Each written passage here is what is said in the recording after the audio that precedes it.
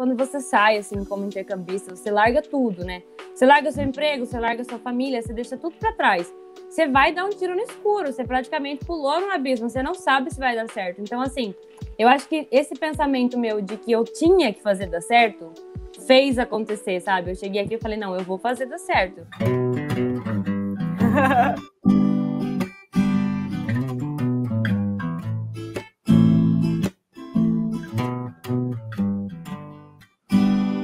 Jackson, João Jackson. E a música banana, Panqueca de Banana. Caraca, é a minha música. Eu só faço Ficou panqueca de bonitinha essa música, é fofinha.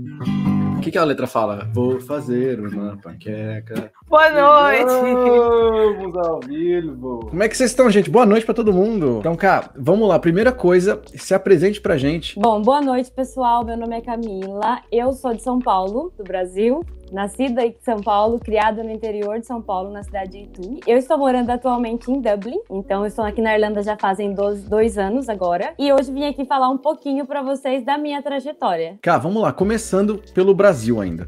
Você Tá. falava inglês? Não, Não. isso era uma frustração para mim, porque eu trabalhar, eu trabalho na área financeira, né? A língua do business dessa área de finanças ela é o inglês. Isso Legal. também me impactava muito em relação à carreira, etc, entendeu? Porque eu não Sim. conseguia ter um, um avanço. O que, que exatamente você fazia nessa área de finanças no Brasil? Tá, eu trabalhava na área contábil, trabalhei na área de contabilidade em outsourcing, numa empresa muito conhecida no Brasil, foi minha primeira experiência na contabilidade, que foi na Uhum. Deloitte. Trabalhei Legal. por três anos, onde eu desenvolvi mais essa minha área da, da contabilidade em si, porque eu já tinha tido outros empregos no passado, mas a contabilidade eu comecei a ver quando eu entrei na faculdade, teoricamente. E desenvolvi na, na Deloitte, que é uma empresa multinacional, e eu já precisava do inglês naquela época, e eu não tinha ainda. O que, que você fez em relação a isso? Então, na verdade, eu comecei a me sentir assim, que eu estava um pouco acomodada em relação ao inglês. Porque, primeiro, eu não estudava numa escola em si, eu estudava o inglês em casa, aquela coisa assim, né?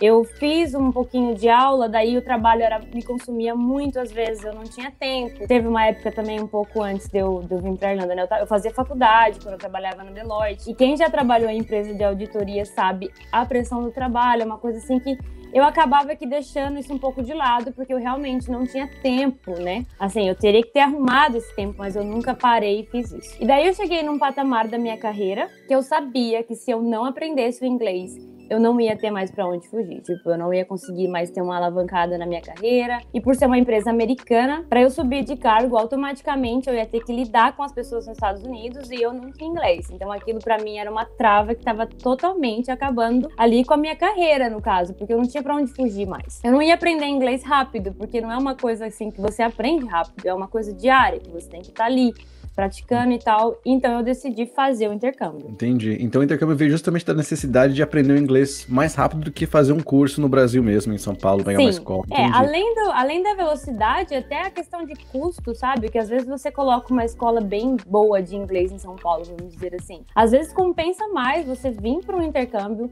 que não é só você pagar ali um curso de inglês, você tem uma baita de uma experiência. Isso vai mudar a sua vida, assim, para sempre. Então, acho que compensa em todos os sentidos, assim, no meu ponto de vista. E entre essa decisão de fazer um intercâmbio e efetivamente vir para Irlanda, como é que foi isso? Porque tem vários países que você falou, uma empresa americana, talvez Estados Unidos poderia ter sido a primeira opção. Por que, que você veio para Irlanda? Então, primeira opção minha, na verdade, era a Austrália. Porque eu sou uma pessoa que eu amo o calor, eu amo o verão. E a Irlanda, Adoro. você sabe, não é, não é assim o lugar que, que as pessoas vêm quando procuram sol e praia, etc. E mais ao mesmo tempo, eu precisava de um lugar que me, me possibilitasse trabalhar. Porque eu não tinha dinheiro suficiente para fazer um ano de intercâmbio e não trabalhar, eu precisava de uma fonte de renda. Mas no ano de 2018 são alguns lugares só que você tem a opção de vir e trabalhar e estudar. E a Irlanda é um dos, desses países. E outra coisa que me motivou muito vir para a Irlanda é porque eu vi que a minha profissão aqui ela era muito bem reconhecida e que eu teria uma chance de ter uma carreira internacional se eu me, for, me esforçasse e tentasse, né? Eu comecei a trabalhar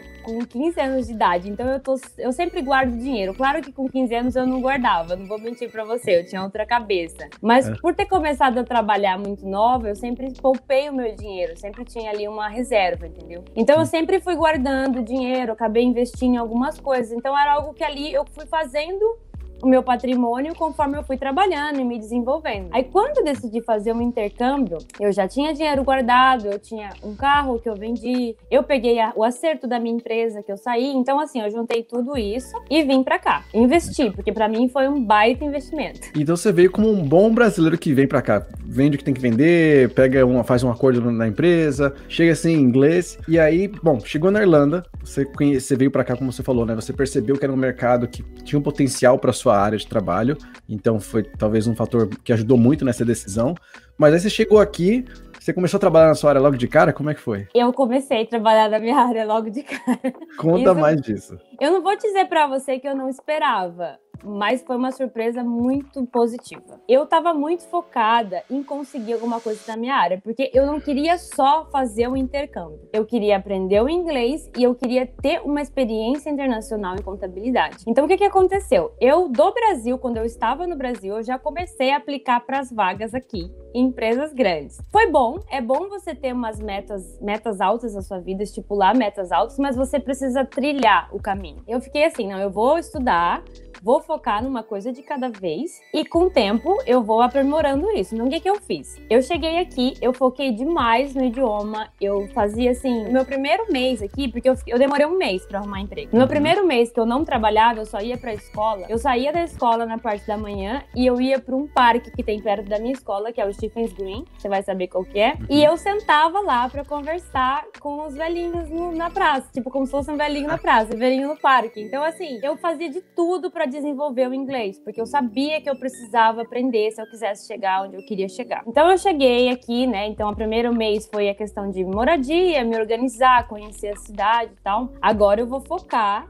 no meu objetivo. Então eu tinha três currículos preparados. Um para área contábil, que é a minha área, um para atendimento ao cliente, eu já tinha já trabalhei com atendimento ao cliente no Brasil, porém eu não tinha inglês, então ia ser uma, um baita desafio trabalhar com atendimento ao cliente. E uhum. tinha preparado um para cuidar de criança, para ser babá. Eu não tenho nenhuma experiência, mas é uma coisa que eu amo muito, então eu falei, vamos jogar para isso daí. Aí o que, que eu decidi? Eu falei assim, eu vou começar pelo mais difícil, porque eu quero muito trabalhar na minha área e eu vou tentar. Eu já tenho não. Eu fui lá no Google e procurei escritórios de contabilidade, escritórios pequenos, porque eu sabia que as empresas grandes não iam me chamar, porque eu já estava tentando desde o Brasil e foi um passo assim que eu quis dar que eu sabia que não ia certo. 280. Eu mandei 280 e-mails. 280 e-mails, assim, para praticamente a Irlanda inteira recebeu o seu e-mail. Acho que sim, acho que todos os escritórios contábeis da Irlanda, com certeza.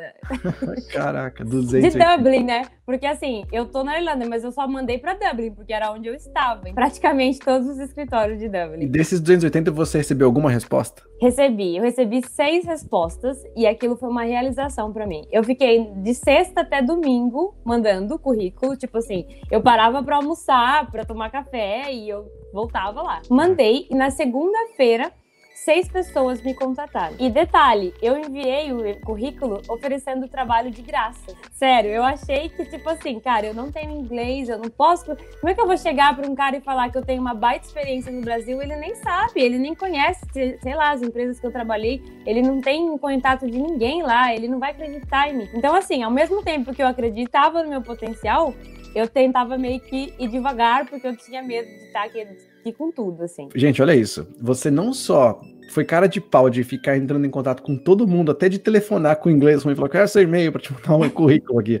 Você basicamente mapeou a Irlanda inteira na área contábil, entrou em contato, recebeu essas respostas e ainda ofereceu nesse, nesse contato com você, você já falou, topo trabalhar de graça. Foi isso? Você falou, ó, oh, vem Sim. cá, tô interessado em trabalhar na área e topo de graça. Eu mandei o meu currículo e mandava no e-mail, na descrição do e-mail, que eu topava trabalhar de graça porque eu queria experiência. E aí, como é que foi? Você respondeu e falou: Meu Deus, é agora, consegui. É, então. Aí a primeira pessoa que me contatou, ela falou assim pra mim, mas você, tipo, você é louca? Você quer trabalhar de graça por quê? Aí eu explicava, né, tudo, aí beleza. Aí eu comecei nesse primeira, nessa primeira pessoa que me, que me ligou, que me deu uma resposta, eu falei, tá bom, eu vou trabalhar pra você. Daí a pessoa falou assim pra mim, beleza, você pode vir, eu vou ver seu trabalho, a gente vai te deixar te manter aqui por um período, mas eu não quero que você trabalhe de graça, vamos ver o seu trabalho. Então, em três semanas eu fiquei trabalhando lá, de graça, né? E daí, na quarta semana, ele falou: Olha, Camila, muito obrigado por você estar trabalhando aqui, mas eu vou te pagar um salário. Você vai entrar como estudante, porque quem trabalha aqui na Irlanda, né? Tem a opção de trabalhar meio período, né? Quem vem como Uhum. estudante, então eu trabalhava como período e recebia para isso. E comecei a trabalhar com ele. E logo depois disso, várias empresas começaram a entrar em contato comigo, vários escritórios. E eu acabei indo para uma outra oportunidade. Então, assim, eu cheguei, sim, achando que eu não ia conseguir, tentando fazer de um jeito para dar certo, e acabou que eu escolhi onde eu queria trabalhar no final das E contas. deixa eu lembrar as pessoas, você veio, você é brasileira, não tem cidadania europeia, chegou aqui como brasileira, Cheguei, inglês, se jogou na sua área e rolou. E rolou, e rolou.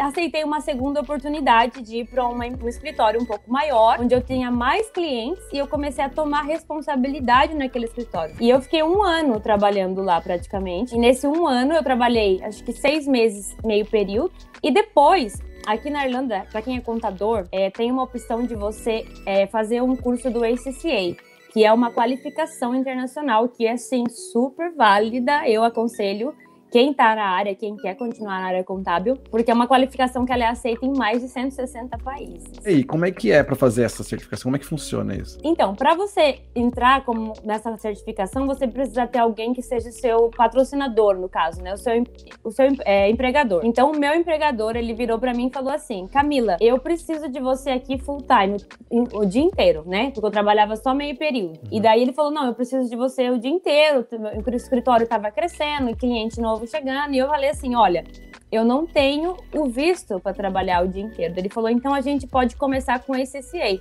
Eu vou pagar o teu curso e você vai trabalhando para mim com o salário também. Então, assim, eu tinha o salário, ele pagava o meu curso, ele investiu em mim e me deu um visto me possibilitando trabalhar full time, tipo, todo o dia inteiro. Só coisa boa, entendeu? E como é que estão as coisas agora? Então, aí depois de tudo isso, quando eu cheguei a alcancei tudo isso, eu queria um pouco mais.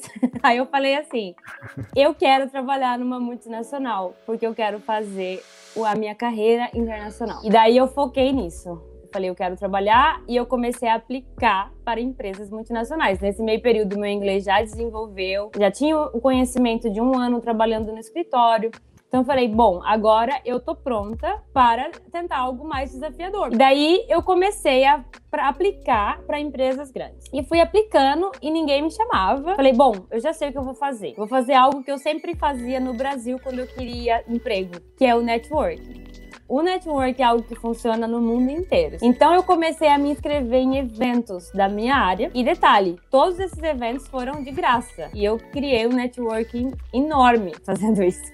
Eu fui, peguei o meu drink sozinha, nesse dia eu tava sozinha também, e conversei com essa menina. Cheguei lá na mesa, me apresentei, perguntei se eu podia sentar tal, e ela tranquilo. Não sabia quem ela era, não sabia da onde ela era, não sabia nada. Me falar, né? Como eu sempre falava pra todo mundo o que, que eu queria, onde eu queria chegar e tal. E ela ouviu a minha história. Daí ela falou assim pra mim: Olha, é, você quer muito trabalhar numa multinacional, eu posso te ajudar. Aí eu falei, nossa, ela vai me oferecer um emprego aqui, né? Mas não.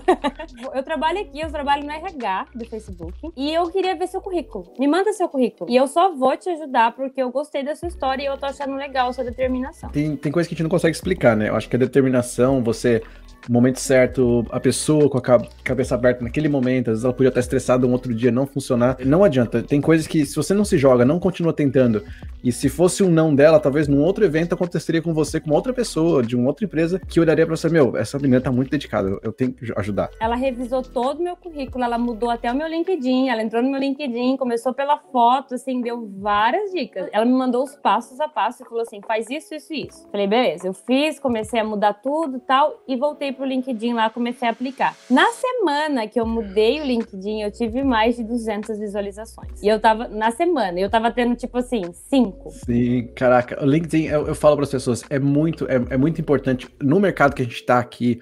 É, não importa se você é de finanças, se você é de marketing, se você é de administração.